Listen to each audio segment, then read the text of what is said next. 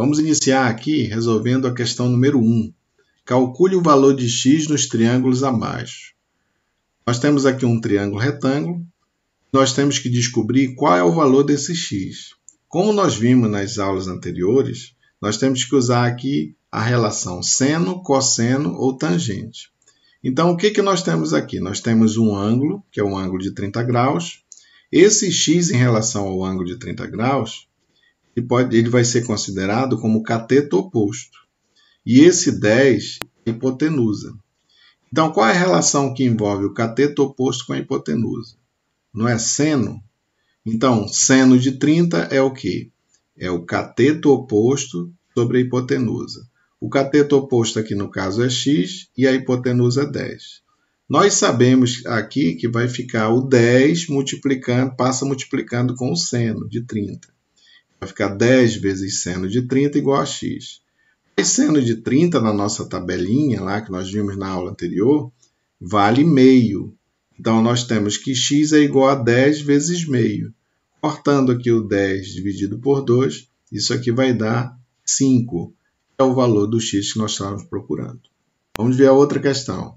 Aqui nós temos um ângulo de 60 graus, temos esse cateto aqui ele vai ser considerado como cateto oposto aos 60 graus, e esse valor de x aqui, que vai ser o cateto adjacente.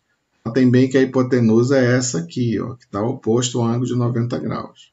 Então, qual é a relação que envolve cateto oposto sobre cateto adjacente? É tangente. Tangente de 60 é cateto oposto sobre cateto adjacente. Quem é o cateto oposto? É 2 raiz de 3 e o cateto adjacente é o x que nós queremos descobrir. Nós sabemos que tangente de 60 é igual a raiz de 3, e aí você vai multiplicar esse x aqui, ó, ele vem multiplicando com raiz de 3. Isso aqui é igual a 2 raiz de 3. Aqui, olha, o que, que dá para fazer? Dá para a gente cortar essa raiz de 3 com raiz de 3. Então, x vai ser igual a 2, que é o resultado desse x aqui. Vamos ver a questão número 2. Usando um teodolito, um topógrafo pretende calcular a altura de um edifício. Aqui como é que está o desenho. Para isso, ele colocou o teodolito a uma distância de 300 metros aqui do edifício. Ele está a 300 metros do edifício e mediu um ângulo de 30 graus, de acordo com a figura. Foi medido 30 graus aqui o ângulo. Sabendo que a altura do teodolito é igual a 1,50m, 1,50 metros, a 1,5m, em relação ao chão, calcule a altura aproximada do edifício, que é esse H que nós queremos aqui, em metros, considerando que raiz de 3 é igual a 1,73. Então, aqui o esquema já está montado aqui embaixo, em cima da figura.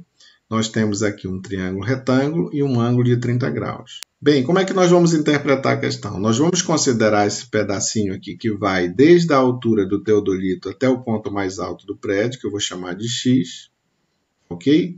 Então, essa altura que eu quero descobrir, concordam comigo que é esse valor do x aqui somado com a altura do teodolito, 1,5? Eu posso dizer que h é igual a x mais 1,50. Agora, o que, que nós temos aqui? Ó? Esse ângulo de 30 graus, o x é oposto a ele.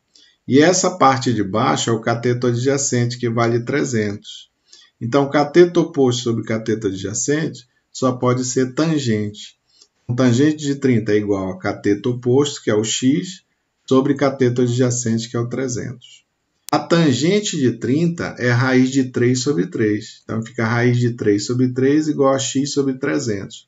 Esse 300 vem multiplicando para cá, com o raiz de 3, e o 3 vai multiplicar com x. Então, fica 3x igual a 300 raiz de 3. E aí, esse 3 passa dividindo 300 raiz de 3.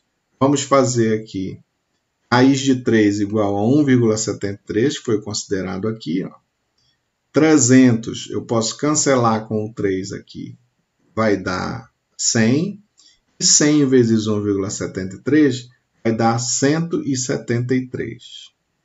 Então, como nós queremos descobrir a altura do edifício, nós vamos pegar esse 173 aqui tá? que vai ficar aqui dentro, no lugar do x, e somar com 1,5. Então fica 173 mais 1,50 vai dar 174,50 metros.